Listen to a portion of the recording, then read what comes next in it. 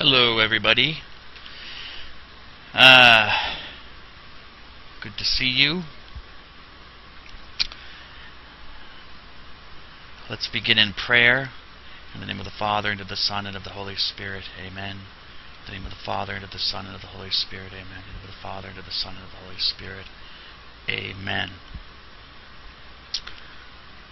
I thank you, wonderful and holy God, that you have not left us alone but that you have blessed us with people, with leaders to whom you have given a special share of your Son's Spirit to teach, to proclaim the good news about your Son Jesus, but most especially to teach the truth um, through your grace about who your Son Jesus was and, and what he intended for his community that we call the church. So I thank you for that, Lord, and I ask your blessing upon all of those um, in your church who proclaim the good news, especially in the first place the Bishop of Rome, Francis, um, for for my for all the patriarchs of the church, um, but especially my patriarch Sviatoslav of the Ukrainian Catholic Church, um, for all of the bishops all of those who are overseers in your church, O God. Um, Bishop uh, Joseph Myers, or I'm sorry, John Myers of Newark, Bishop Joseph Bambera of Scranton, uh, for Metropolitan Archbishop uh, Stefan of Philadelphia, especially, and for all the men um, who serve in this capacity in your church. Please, O oh God, give us holy, holy and good uh, leaders, bishops in your church, who may have as their first desire in their heart um, to love you and to do your will. And I pray this through your Son, uh, the only and chief shepherd, our Lord God and Savior Jesus the Christ. Amen. The name of the Father, and of the Son, and of the Holy Spirit. Amen. Name of the Father, and of the Son, and of the Holy Spirit. Amen. Father, and of the Son, and of the Holy Spirit. Amen. Okay. Let's get back to work. Um, I believe we ended on Magisterium all the way at the end here. Whoops. I was on this. Okay, and I'm done with that. So I'm moving on to this, and I'll be on this slide for the the rest of the talk. Okay, um, I'll show you some other stuff, but I'll I'll remain here um, on this last slide, uh, and I'll talk about this. Okay, we're still talking about magisterium, teaching authority, and hopefully you have read or looked at the sections in the Catechism of the Catholic Church. Um, in uh, well, I didn't realize I'm looking at our schedule here. I didn't realize I was that behind, but I am. Oh, well, but anyways, hopefully I can catch up. Um, you've read these sections in the Catechism of the Catholic Church, so I won't be telling you anything new. Um, but if you haven't, uh, you might want to take a look at them because I'll be addressing them, as you can see from this PowerPoint. Okay, but before we do that, I talked mentioned I talked to you in the last lecture about the fact that Jesus shares his own authority and his own his own power with his apostles. Okay? Remember I'll keep coming back to this. Okay? I'll keep mentioning this. It's all about Jesus. Okay? It's all about Jesus. It's all about what he said, what he did, what he intended. Okay? The, these things that come about, these institutions, we might look at the institutional church and we see a lot of buildings and we see outfits and clothing and people and names and, and all of that. Okay, certainly that's all part of it because we're not spirits. I mean, we live in bodies and you know we're we're fleshly beings and um, we we are symbolic beings. We do things. We build things. We create things. Okay, uh, so you see the institutional church. Okay, But even if you didn't have those things, the magisterium is still based on Jesus. Okay? It's not about a bunch of men getting together and saying, as some people might think, gee, you know, okay, well, what are we going to do? Jesus is gone, so let's create this community and, you know, and uh, we'll call it a church and we'll just kind of continue what Jesus is doing. I mean, sociologists might say that that's what happened or anthropologists, okay? But the belief, or at least the testimony of the New Testament of the Christian scriptures, uh, is that, and uh, and of history, is that Jesus established some sort of community around him which continued, okay? And Jesus gave his authority to that community. All right? At least this community claims this. Now we have to see if that claim is true. Is it grounded in, for example, Scripture? I mean, if it contradicts, if the, the evidence, the data, the claim contradicts, for example, the foundational documents of Christianity, well, then we've got a problem. But I think as you'll see, they don't. It's all consistent, pretty much. Okay, let's look at. Um, I think I had this on a previous slide, actually. Mr. Dunn, you lied to us. You are not a good magisterial authority. said we were only going to stay on this this uh, slide. Whoops, my backspace isn't working for some reason. Huh. That's weird. I mean, if you hit backspace, it should go back, shouldn't it? Hmm. Oh well. I thought I did. I thought I had it. I know I've seen. I know I saw it, but regardless, pretty sure I had seen this uh, from Matthew, um, the Gospel of Matthew, but uh, I guess I didn't have it here. Let's take a peek. I got it. It's uh, Matthew chapter 10, chapter 10, verses 5 to 15. Okay, to just give you an example of what I'm claiming. And we go to our Bible. That's not the Bible. This is the Bible on the website of the uh, Conference of Catholic Bishops. Mm, see the calendar here for November. The red indicates that uh, we have some martyrs coming up. They shed their blood for Christ. Notice the white are just other saints, other holy people. Remember, tradition, people, tradition, customs. These are customs. The colors are customs. And the rest of the days the priest is wearing green.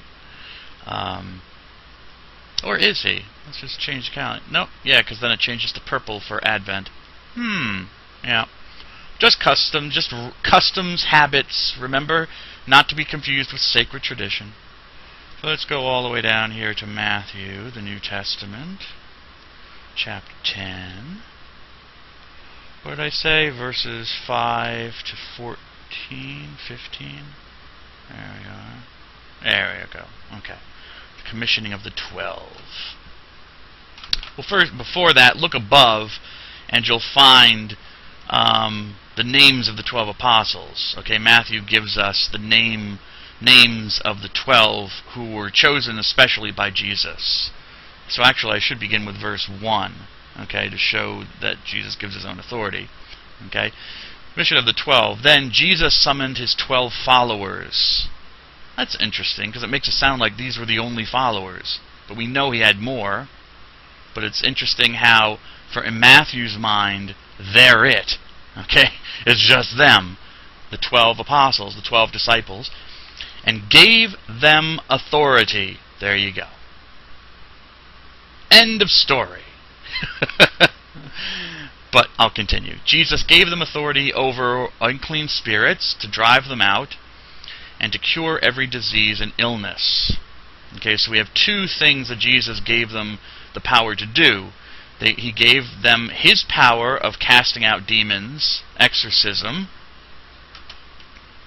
In case you don't know how to spell that word, exorcism, okay, which is casting out of an evil spirit, an unclean spirit, and to heal, to cure diseases and illnesses. So, in in uh, and you should know this. So in Matthew, Matthew chapter 10, verse 1.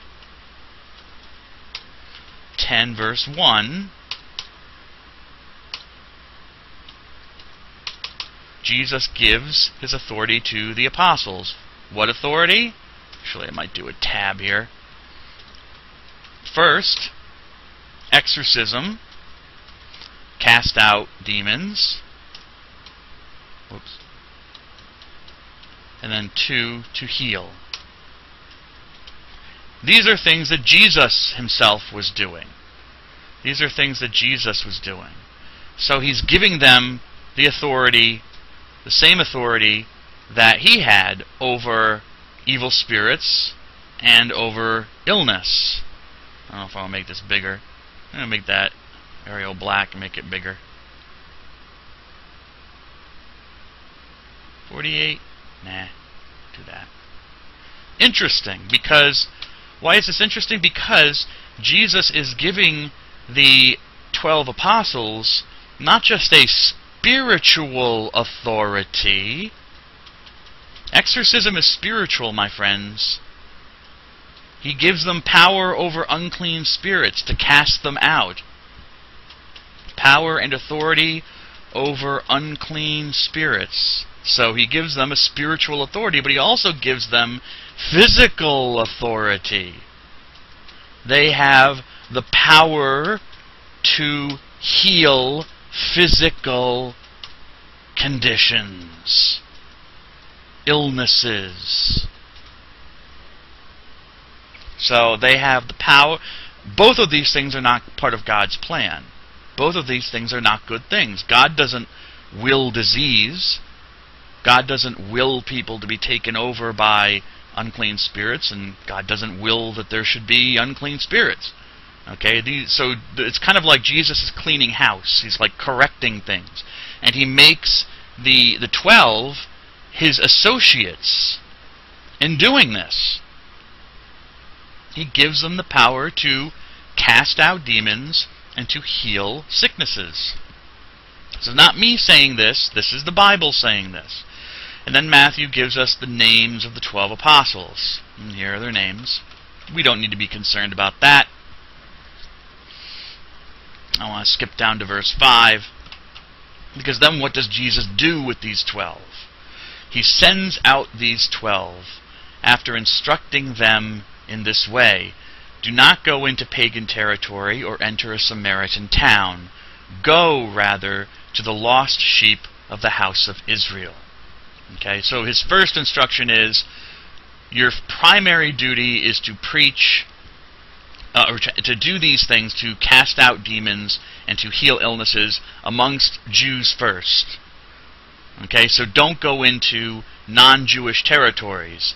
Pagans and Samaritans. Samaritans were related to the Jewish people, but they were not considered Jewish. They were considered outside of the Jews. At one time they had been part of the people of Israel, the house of Israel, but not anymore. Um, and so Jesus says, don't go to them first. Right? Jesus does have interaction with non-Jews in his ministry. Jesus does interact with non-Jews. He even performs healings for them and miracles. But that's not the purpose right now. Okay? The primary purpose, he is, remember, the Messiah of the Jews, the Christ of the Jews. Not the Christ of the pagans or the Christ of the Samaritans. Okay, the Messiah of the Samaritans. The Samaritans weren't expecting a Messiah anyways, um, nor were the pagans. Uh, he is the Messiah of the, the house of Israel. So that's their first priority or the first priority. Well, that's an oxymoron. Um, that's their their primary mission to the lost sheep of the house of Israel. Let's take care of things there first, and then we can take care of the other stuff. Okay. So um, something else I wanted to say about that. I thought there was. Oh, I wanted to say Samaritans still exist. This, they're a very small community, but if you go over to the the country of Israel, um, there are you will find Samaritans. They still exist to this day. Um, they're still not considered Jews, but um, they it's interesting. They share a lot of Jewish beliefs, but that's a whole other thing, and I'm not going to go into it. It'll be too too long. As you go, Jesus says, make this is verse 7. Make this proclamation. The kingdom of heaven is at hand. The, the rule of heaven. This word kingdom, this is a customary, traditional, a customary translation, okay, of this Greek word basileia, basileia, Greek basileia, okay, which is Greek for rule, reign, um, also kingdom, could be kingdom, yes, yes. Um, what other things can we throw in there? Um, governance. These are all ways of translating this word basileia from from Greek. Okay. Notice, notice, notice, people, that it looks similar to another word we've encountered. Boo doo doo doo doo doo doo do do do do do do do do do do do do do do do do do boo boo boo boo boo Alex, what is Basilica? Yay! You just won Jeopardy! okay, Basilica, yes. You know, it, it is from, you know, this Latin word, Basilica, is related to the Greek word Basileia. Okay? Basilica. Remember I told you St. Peter's Basilica. A basilica is just a major church. Okay, it has importance, meaning, it's meaningful um, for some reason. It just has importance to the church to the to the church at large. Um, so it's it's it's a church, but it's called a basilica church. Okay, um, and you can see that comes from this Greek word basileia, rule, governance, kingdom. Okay, this this uh, you know all of all of these terms have the sense of being raised up or powerful. Okay, so it's a powerful church. St. Peter's Basilica is a powerful church because the Pope uses it so often. It's part of the uh, Diocese of Rome. Okay. Um, then you have um, in Newark, New Jersey, from my neck of the woods, the state of New Jersey, we have Sacred Heart Cathedral in Newark, which is also a basilica. I think it's a minor basilica though. But anyways, um, because it's it's a large church, it's it's uh, in uh, Newark is one of, is the oldest. I think I think it's the oldest diocese in New Jersey, um, etc. and so forth. So um, it was it was made uh, basilica, but I think a minor one, not a major basilica. But anyways, so this Greek word basileia, so Jesus is saying that God's governance, the governance of heaven, the rule of God is here. And then he tells them what to do. Cure the sick, raise the dead, cleanse lepers, drive out demons. Now, let's think of those things. Let's think of those things, because that's interesting cure the sick, cleansing lepers. Okay. You know, that ties in with healing illnesses, curing diseases, drive out demons. Okay, that ties in with exorcism and casting out unclean spirits. But where does this come in? Raise the dead. Hmm. Is death an illness? A sickness? I don't think it's an unclean spirit, a demon, but, you know, interesting. But what's even more interesting, what's even more interesting is that we have another, another um, power that Jesus has given. It's a spiritual power. It's a spiritual power. Well, actually, it's both, if you think about it. It's both, if you think about it. It's both spiritual and physical. The apostles spiritual and a physical power. The apostles have the power to raise the dead.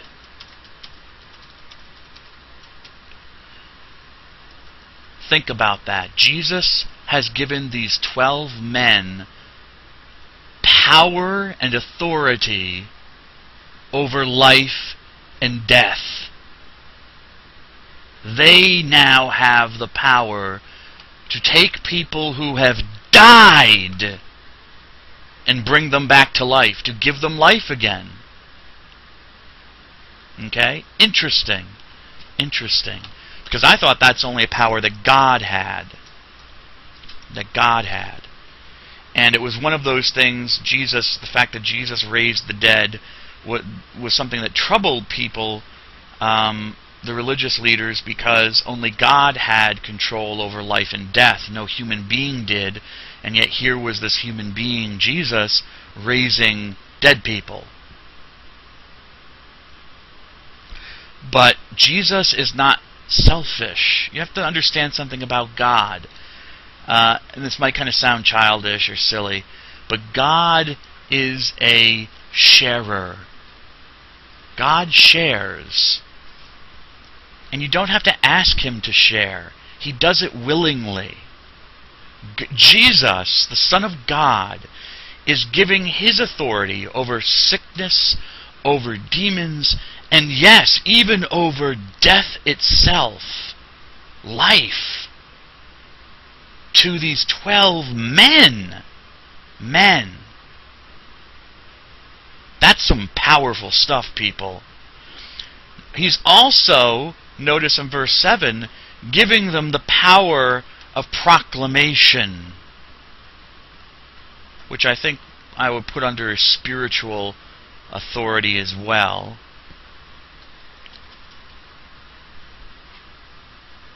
Uh, I'll put a question mark because I'm not totally sure in my own mind whether I'd say that's totally spiritual if there or there might be physical characteristics. But the power to proclaim the rule, the kingdom of God. Actually, let me make that more general. The power, the power to proclaim Jesus' own message. Okay, this is where we're getting to magisterium, folks. This is where we're getting to magisterium. Where is this, Mr. Dunn? Verse 7. Verse 7. Okay? As you go, I, Jesus, tell you, the twelve apostles, to proclaim this. The rule of heaven is at hand. It's near. It's right here, right now. It has come. Technically in English you should say it is come. It is come. You use the verb to be with come. A remnant of our Germanic roots, the Germanic roots of our language. Okay? So this is the message of Jesus. If you read the Gospel of Mark, what is like the first thing that Jesus does? What's the first thing he says? I'll read it to you. Mark chapter 1, verse 14.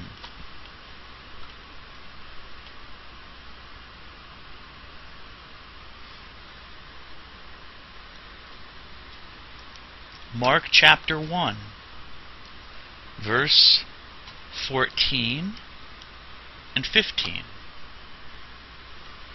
Put down my Bible for a moment I'm typing with one hand right now. um, make it larger.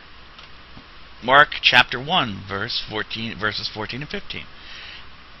Jesus came to Galilee, which is in northern Israel, proclaiming the gospel of God.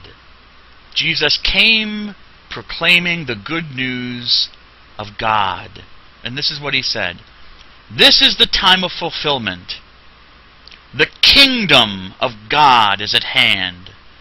Repent and believe in the gospel. Okay?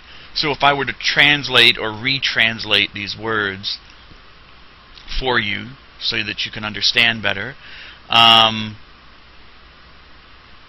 this is the time where everything that was predicted is coming to pass. The rule of God, His government, His rulership is right now in front of you. Change your hearts and believe in the good news. Okay?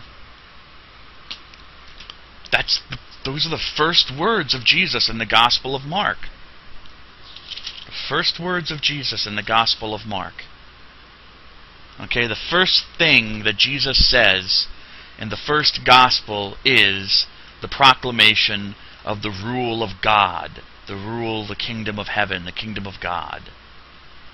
And this message, everything he does, everything, um, everything Jesus does and says, is oriented back to, towards this message of God's control, His rule of everything, and placing yourself under God's rulership.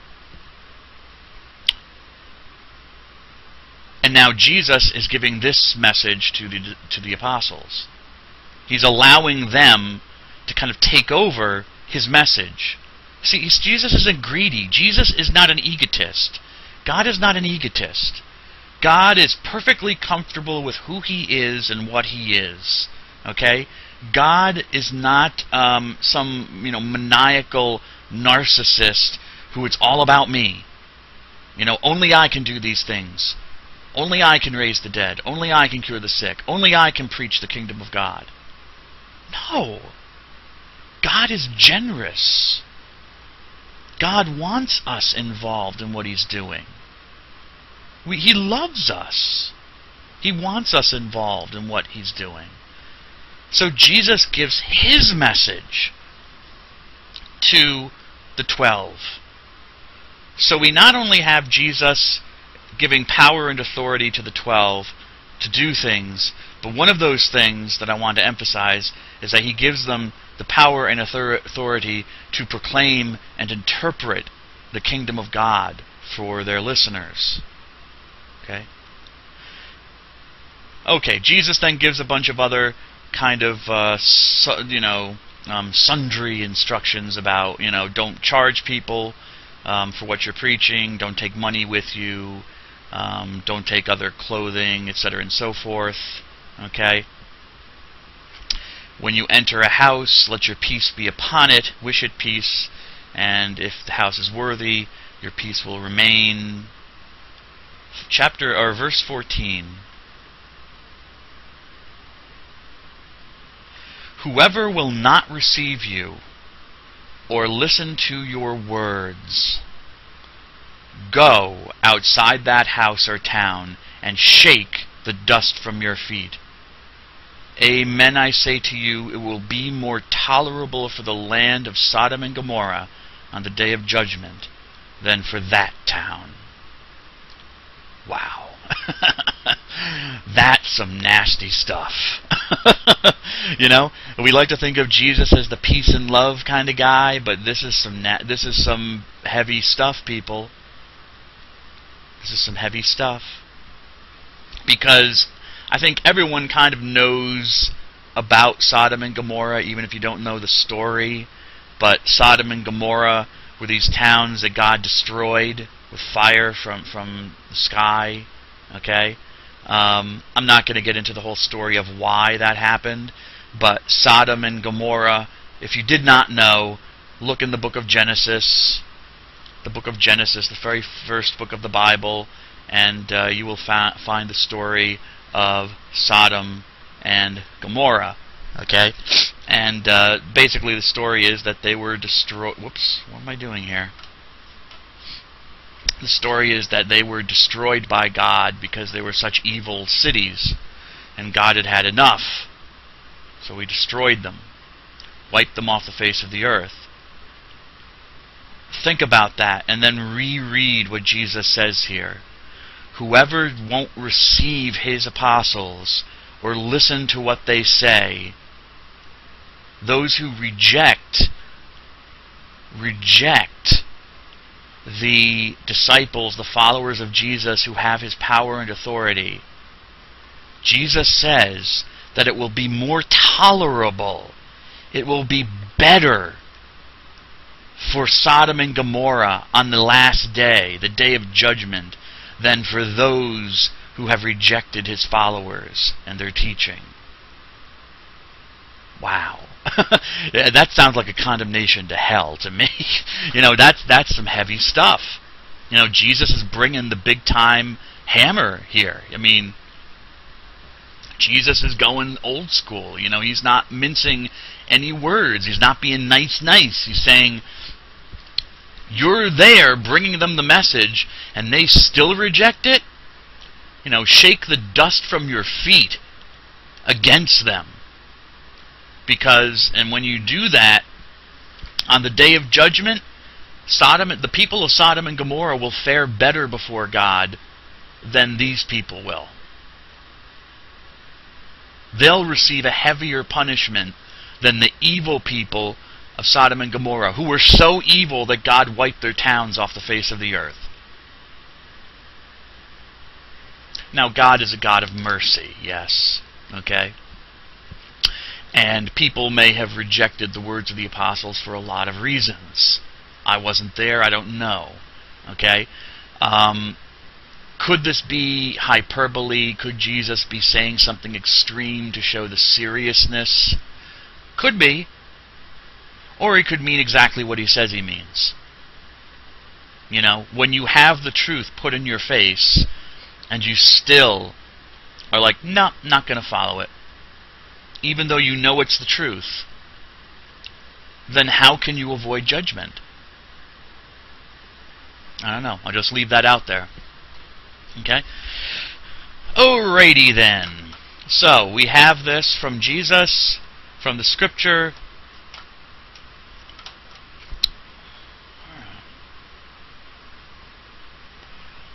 So I know that people kind of get uncomfortable with authority in the church. And, uh, you know, especially, I, I've, I've had many friends who are Protestant um, mainly Presbyterian. I don't know why I keep bumping into Presbyterians throughout my life, but I do. Um, but you know, I've known Lutherans and Baptists, and and they don't really have an authority structure. I mean, they do, but it's kind of like you know, just to kind of keep things going. You know, to pay the rent on the building, or to you know, fix the leaky pipes. You know it's like if some Baptist churches, you know, you have your worship service on Sunday and then you have a business meeting, you know, right after to talk about well, what's going on, you know, how's the uh, church picnic coming, you know, do do we have enough food, and you know, to take over the. So there is like an authority. There might be a manager, and of course there's the pastor. But pastors are kind of like there to preach, you know, preach the gospel, um, lead the worship services um, it's not so much that you have a bishop who's a teacher and like a father figure. In fact, some denominations completely eschew that kind of form. Eschew. Interesting English word. You know, means they they uh, avoid, avoid, try to get away from even that kind of form. And so you have, you know, Protestant churches, like you might be driving along and you see a church, little church, and the sign outside says, you know, Word of God Baptist Free Church. It's a free church. You know, or non-denominational, or independent, or something like that, which means that they're basically going it alone. You know, they they don't have they're they're not only do they not have bishops, priests, and deacons, telling them what to do. They don't have like a national structure also telling them what to do. They're on their own. You know, they're a free church. Stuff like that. Okay. Um, I I I'm not one of those. I'm not, you know, I'm not a member of a free church or an independent church. Okay? I'm a member of a church that is very interconnected. Look at this. I mean, you've got people of African ancestry, of Middle Eastern ancestry, um, Argentine, Italian ancestry. Myers, I, I, think, might be Irish, but I'm not sure. I think, well, this guy I forget.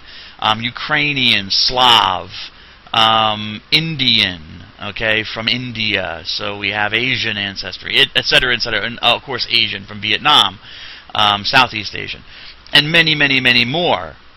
Okay, we the Catholic Church is like the, the, the Church of Jesus. It's all interconnected. All the apostles, even though they were sent out by Jesus two by two, they were still out there supposed to be preaching the same message and doing the same thing as Jesus. They weren't off on their own in some free church, okay, some independent denomination, okay.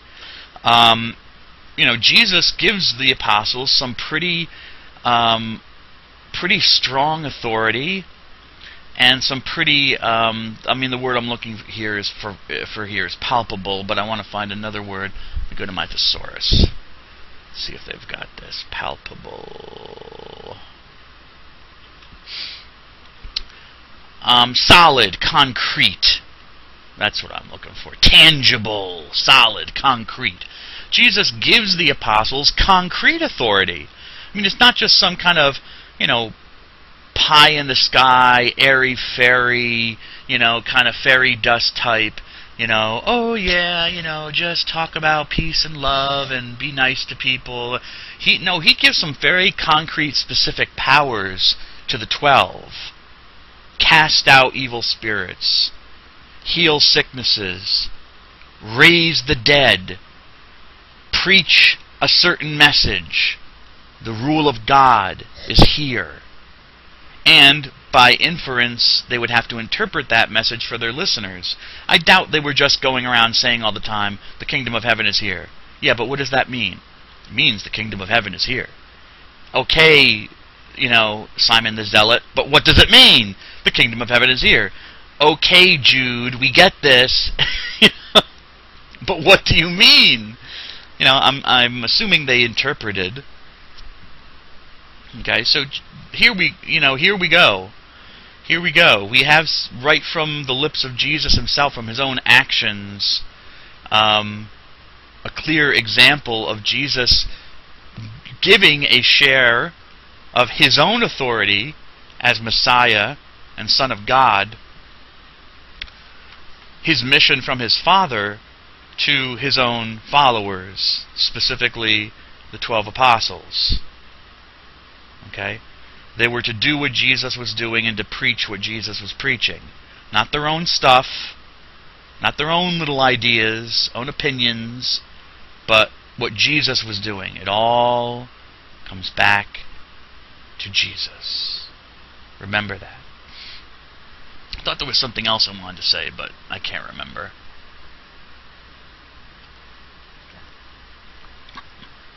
Okay.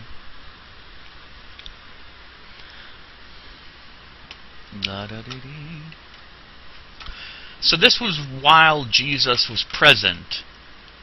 Okay, Jesus was there on earth with his followers. But even more so after he was gone. Okay? Even more so after he was gone. Um, the, the the apostles became their role in his community became even more important because he wasn't there anymore. Jesus wasn't there anymore to say, okay, this is what I said, and more importantly, this is what I meant. He wasn't there to do that anymore. At least not physically. I mean, of course Jesus is there, you know, even after he ascends to glory. Um, but, you know, we have to, uh, the point I want to make is that the message of Jesus and about Jesus because we can use that possessive in in two different ways. Okay, the message, Jesus' message, the message of Jesus. Jesus is in the possessive case. Jesus' message, Jesus apostrophe message, his message. It can be it can be used in two different ways. His message, what he actually proclaimed, but it can also be the message about him, the message of Jesus, meaning about Jesus. So both of these, the message that Jesus proclaimed as well as the message that was proclaimed about Jesus. Whether it was spoken by word of mouth, I know that's oxymoronic again. I guess I'm in that kind of fashion today. Um, kind of saying the same thing by two different words. um, whether it was spoken by mouth or whether it eventually got written down. Doesn't matter. This message does not exist and did not exist in a vacuum. Okay, sometimes I think people can treat the Bible, especially the Bible, as if it exists in a vacuum.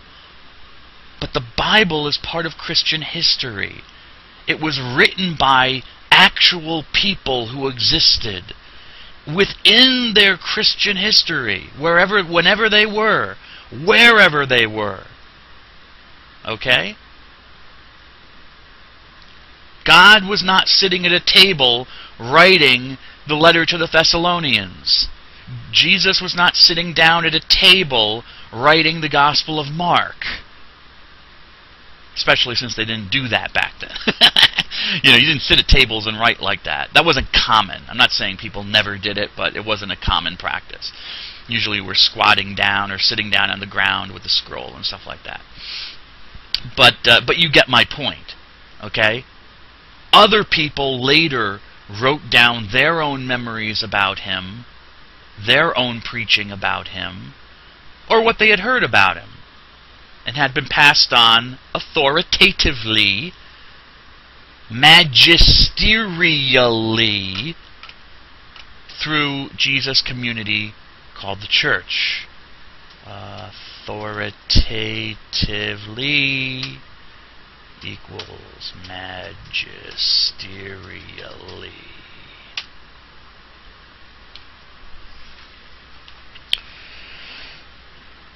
The twelve apostles in particular,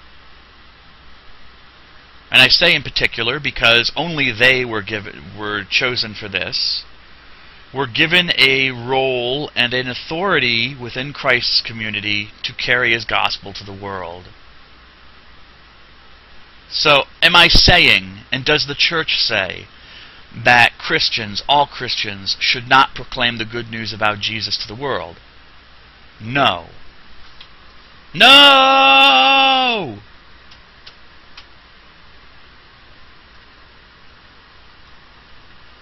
No! Oh! Oh! No! All Christians, by our baptism, we are all called to live like Jesus, to talk about Jesus, to proclaim Him to others in the way that we can. In the way that we can. You don't have to be a theologian to talk about Jesus. You don't have to be a biblical expert to talk about Jesus. You don't have to be a priest to talk about Jesus. Okay? Do you have to talk about Jesus all the time? Yeah. no, I'm just kidding. You know, it's not like you know, you know, it's like uh, you know, I, I understand. You know, no.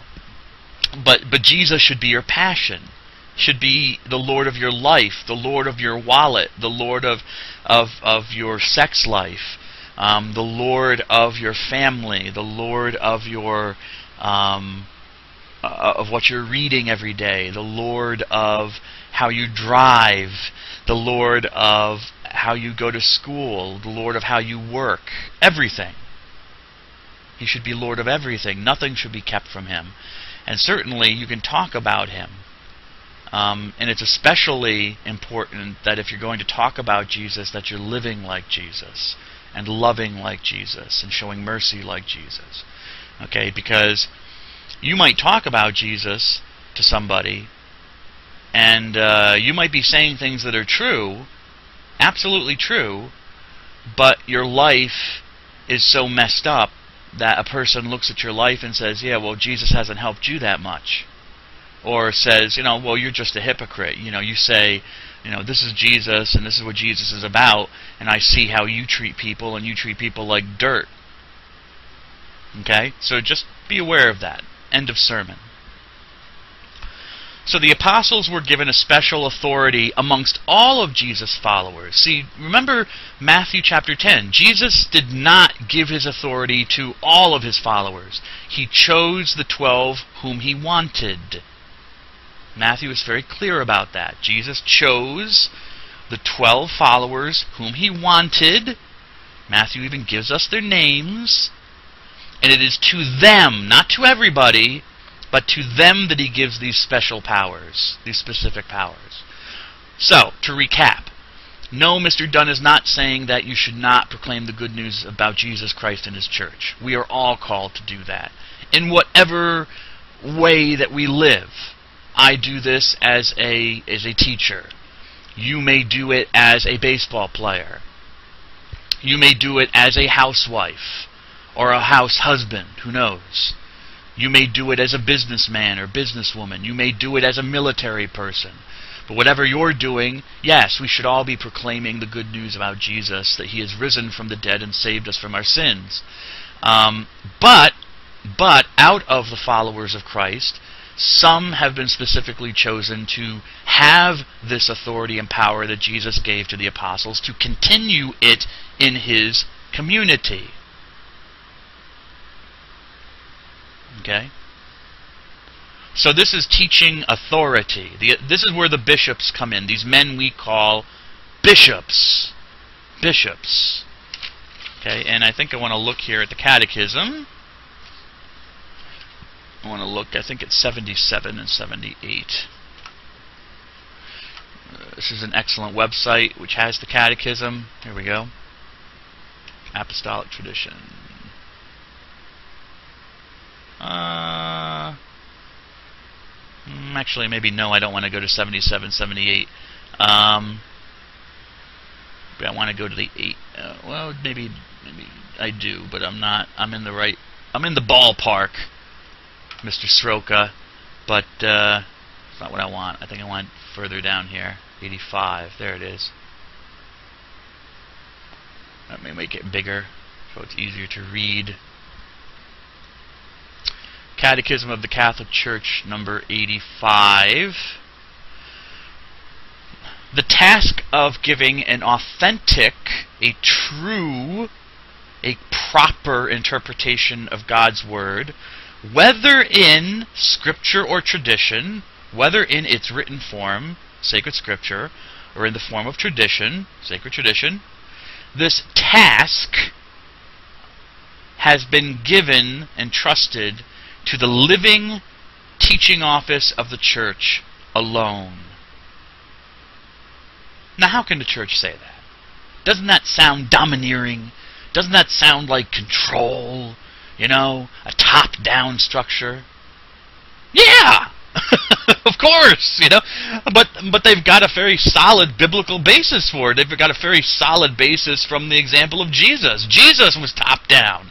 Jesus was the top. And then he chose 12 guys beneath him to share in his task of interpreting and preaching God's Word, His Father's Word, His message. Okay? Jesus didn't give it to everybody. He gave it specifically to 12. It was limited to them. The authority of the magisterium is exercised in the name of Jesus Christ. Jesus Christ. Okay? And we see here our reference number 47. Let's go take go down and take a look at what that is. Oh, okay, it's quoting from the Second Vatican Council. Um, you might not know what this is um, because it's abbreviated, but this is a document from the Second Vatican Council, um, number 10. All right. Don't worry about it.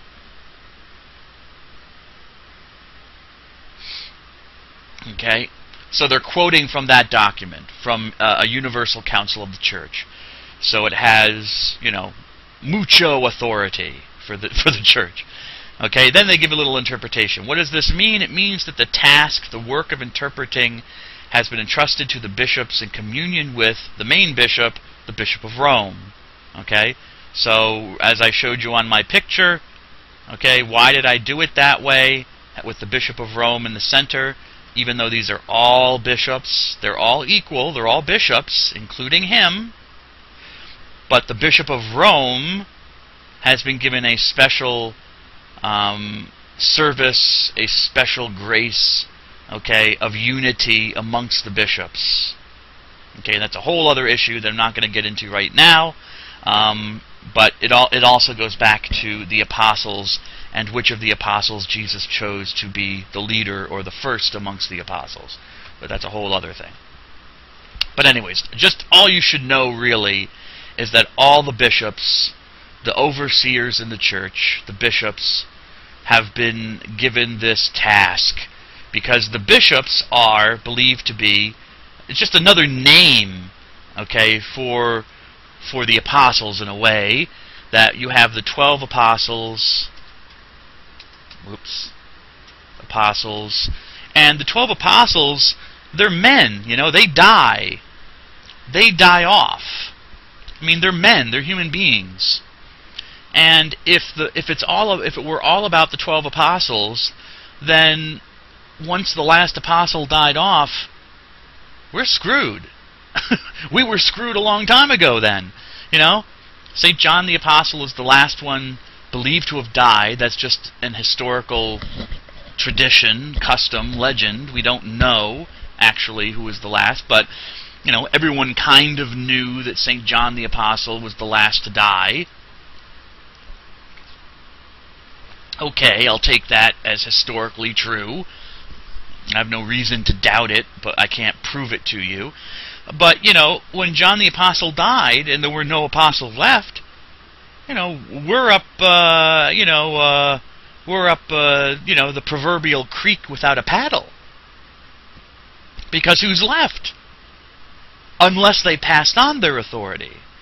Unless, as the apostles were going on, preaching the message, doing their thing, okay, just as Jesus had chosen them, they chose other men and passed on their authority to them. To, to do what? To do exactly the same thing. Heal the sick, raise the dead, cast out demons, preach the kingdom of heaven. These men we call bishops. And believe that's what bishops are supposed to do. First of all, proclaim the good news about Jesus Christ. Secondly, to do all the other things that Jesus said. Cast out demons. Bishop has the power of exorcism. In fact, technically, technically, in the ritual of exorcism, which, yes, the Catholic Church still does, we still have exorcisms, the, the, the devil is alive and well in the world and possesses people. Not, not he doesn't can't force himself upon anybody. The devil cannot force himself upon you. Uh, you know, forget what Hollywood says. All right, Hollywood is Hollywood. Hollywood makes horror movies. Okay, um, the devil is a creature just like you are, just like I am. No better, no worse. Okay, he's just a different kind of creature. So he has powers to a degree that we don't have. But we also have powers that the devil doesn't have. You know? For example, don't you think the devil might not you know would would would not mind the opportunity to go to confession and have his his his sin forgiven? And be completely fresh and clean in the eyes of God so he could go back he could go to heaven? But he can't because angels don't have the power to mm, to change their choices. They have the freedom to choose but once they make a choice just the way their nature is, they can't go back on it. Whereas with humans, you know, you can change your change your pants five times a day if you want to. You know, you know, say, or you can change your religion. You know, now I believe in Jesus. Now I don't. I'm a Buddhist. Well, no, I don't like the Buddha anymore. I think I'll believe in Muhammad. Well, Muhammad, yeah, I don't know. I'll follow. I'll follow. Uh, you know, Guru Rajneesh or somebody. You know, we can do these things. Angels can't. So we have powers and abilities that the angels don't have. But they also have powers that are superior to ours, like knowledge and stuff like that. So the devil is a creature. He's not God or like second to God. Not at all. Second to nobody is the devil. And that's what kills him. That's why he's the devil. You know? Um, perhaps. There are stories about it why the, how the devil became the devil.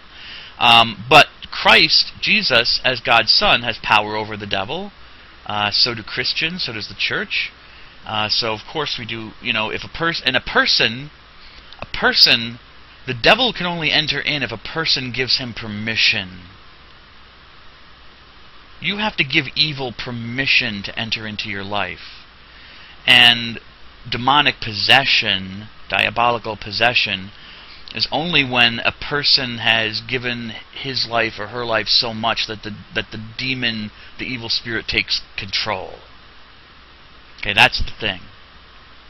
All these Satanists who say, you know, I'd rather reign in hell than serve in heaven. Oh, really? Well, I'd like to take them to a real possessed person and show them what reigning in hell looks like because the devil is about control power, and he does not share power. Jesus does, God does. Devil do not. He wants all the power. He's not giving power away to anybody. So that's where the church has to enter in and to kind of take back from from the devil. Uh, excuse me, I'm just stretching. Take back from the evil one what is properly God's. God's property, not the devil's. And saving people from his power when they've kind of gone too deep. They've given too much permission. They've signed away their life to the evil one. So, but in the ritual for exorcism, getting back to what I my original point, um, the ritual for exorcism which the church has, technically, technically, it is a bishop who's supposed to perform it. Now, bishops customarily delegate that authority to a priest, which is fine, um, but technically, technically, a bishop is is supposed to be the one who's performing the exorcism. And certainly you cannot do an exorcism without the permission of the bishop of the diocese. You need the bishop's approval because he is the high priest. He is the one who is the successor to the apostles. Okay? The power that Jesus gave to the apostles has been given to him. Okay. This teaching authority, magisterium, is not superior to the Word of God, but is its servant. That's a very important statement. The teaching authority of the church is not above God's Word, it serves it. And here's where we get to rather hard sayings of the church. You know, there might be Catholics who have same-sex feelings and may even really truly be in love with a person of the same sex and want to show that love sexually um, as well as spiritually living with the person but not not just living with the person but also expressing that love um, through the sexual what well we call it sex, but it's not really sex. But anyways, um, at least not heterosexual sex. Okay, but expressing that love, and the church says no. The the action, you know, oral sex or anal sex are contrary to the will of God, and hence they are sinful actions. Um, and the desire the sexual attraction for someone of the same sex is disordered. It is not the way God wanted things to be. Okay? This is just an example. This is just an example. There may be people out there and there may be people listening to this who are like, I wish it were another way. Why can't it be another way? Why can't love just be love? You know, why does it have I don't know. I don't know what to tell you. Okay? Um, you know, I, I can see, and I'm not saying I disagree with the church. I don't. I accept the teachings of the church on the matter. Um, but if you're asking, you know, if you want sympathy, I can sympathize in the sense that, you know, I understand how someone might want it to, to have been a different way. Or if God could have done it another way. Okay? And you would want the church to teach that. Or you might say, you know, well, you know, the Bible or whatever is an old document, it comes from a long time ago, a different culture, and the church needs to recognize that and move on.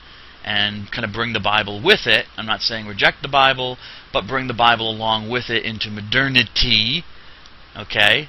And, uh, you know, not necessarily change the teaching, recognize that that teaching was there about homosexuality amongst men and women, but say, you know what, we're in a different cultural context and things have changed and we recognize do recognize that love is love and just like, you know, we don't uh, own slaves anymore or we don't uh, kill adulterers we we don't we recognize that you know people can show their love in other ways than just heterosexual sex.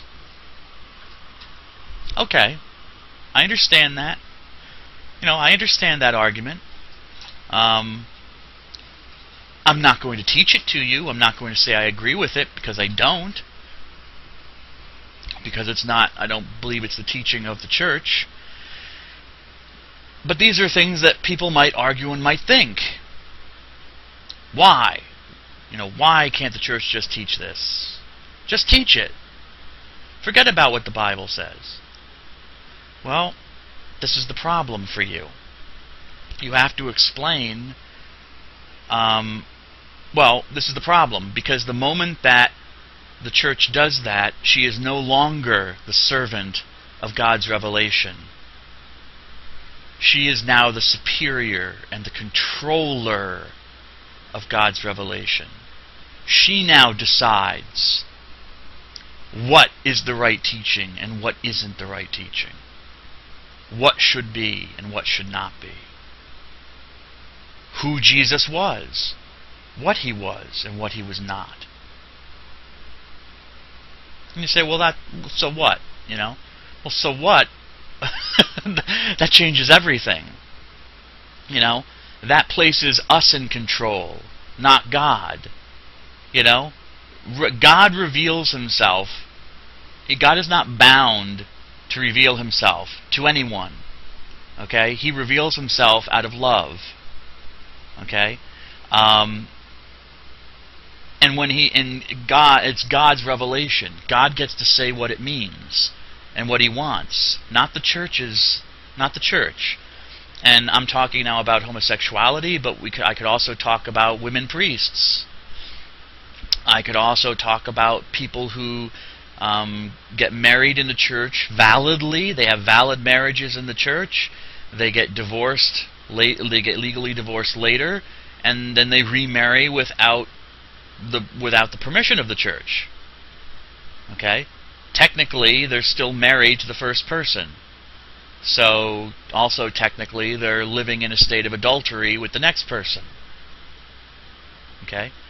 Um, and also technically because they are in a state of serious sin, i.e. adultery, they should not be receiving the body and blood of Christ. These are all things. Things that people might wish were changed, developed. Okay? Um, development. Doctrinal development, we call it. But they can't be. Not really, because the church is not the controller in this relationship. God is. And so, the next sentence the church teaches only what has been handed on to her. At God's command, and with the help of the Holy Spirit, the church, the magisterium, listens devotedly to God's word. Okay, with passion, you know, passion to be passionate, devoted.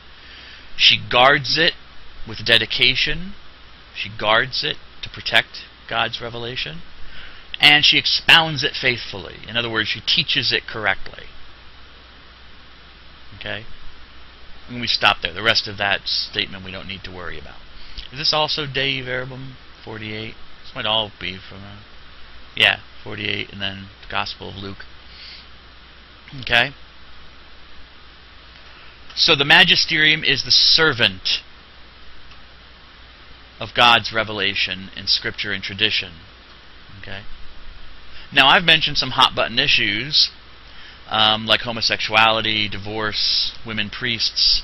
Um, But what about Jesus? I mean, if the church can say, well, you know, um, yeah, I mean, the Bible was in a cult, set in a cultural period of time where same-sex feelings were, you know, kind of uh, viewed negatively, and that's just resent that that historical feeling is simply just represented in the Bible. It's not an actual teaching that we have to follow anymore, and we can recognize that love is love, and so we, the church, say that, um, you know, that uh, what we've been saying for all this time eh, um, is wrong, or not wrong, but has developed, and so you know, um, it's not sinful to have to have sex, uh, you know, anal or oral sex with another person of the same sex, or you know, to have these feelings. These feelings are perfectly legitimate, um, exactly as God would, would has planned it, you know, by putting love in our hearts, etc., etc., etc. Okay, that sounds great, but you know, the same thing can happen to something that you might care about, that you believe deeply about. Like Jesus. You might believe deeply Jesus is God. Why can't the church play the same game? You know?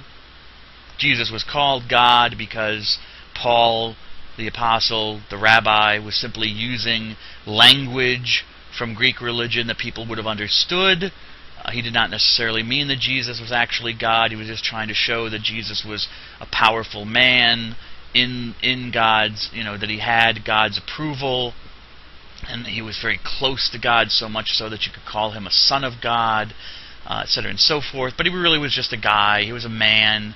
He really didn't work any miracles. Um, or he didn't really he wasn't really raised from the dead. He died and was buried, um, but you know, God kind of showed His approval by glorifying Jesus, what we call the resurrection. That's just kind of like God's seal of approval, you know. So all the stuff that we've been teaching for the last, you know, few couple thousand years, you know, we've developed beyond that. People, you know, there are churches that have done this. I mean, if you want an example, uh, I think this is my personal opinion. You don't have to agree with it, but if you want an example of a church a denomination that is not the servant of the Word of God, but is rather superior to it and acts like the controller of the Word of God, I'd say go to an Episcopal church. The Episcopalians, they'd love to have you. Mainly because they're dying out. you know, their numbers keep getting less and less and less and less. But, you know, go go to the Episcopalian church, you know, be my guest. Go take a look. Take a look. You know, this is this is all going on, and it's tearing their church apart. It's tearing their church apart, their denomination apart. Um, because on just about every issue, you can you can kind of believe what you want to believe and argue what you want to argue. You know, homosexuality, divorce. Was Jesus just a man or was he God? What you know, what I was just arguing to you. Um, you've had bishops in the Episcopal Church argue this about Jesus. You know, Bishop John Shelby Spong, who was the uh, Bishop of Newark, where I'm from, New Jersey, in New Jersey, I should say. Spong, that's an interesting last name. I don't know where he got it from. Um, that's almost like a name you just you try to make up, you know. but anyways, he was John Shelby Spong. He's retired now. You know, but he wrote books in which he talked about what he called atheistic Christianity. You know? Kind of believing in the principles of Christianity about love and acceptance, tolerance, mercy, all that stuff, forgiveness, um, all the principles, you know, help your neighbor, love your enemy, all that good stuff, but without necessarily having to believe that Jesus was divine, was the Son of God, uh, or the Messiah uh, of the Jews, or even really even having to believe that there's a God at all, but still believing in the principles that Jesus taught. Hence, atheistic Christianity is what he called it. And this guy was a leader in the Episcopal Church. Now, I'm not, you know, washing other people's dirty laundry in public. I mean, this is well known. I'm also not criticizing them. If they if that's what they want to be, fine. That's their decision as a community, but I would say that they're not being the servant of God's revelation. And the church is supposed to be. Where are we here? Ooh, we're at an hour. Um, okay, so I'll end this and i I'll come right back to it in the next session.